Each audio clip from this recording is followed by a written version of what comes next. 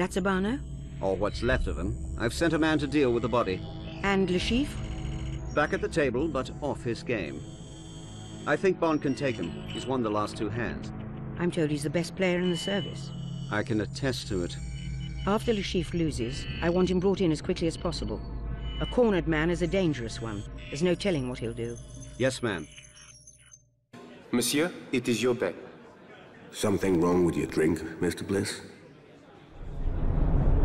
Bond, your heart rate just went through the roof.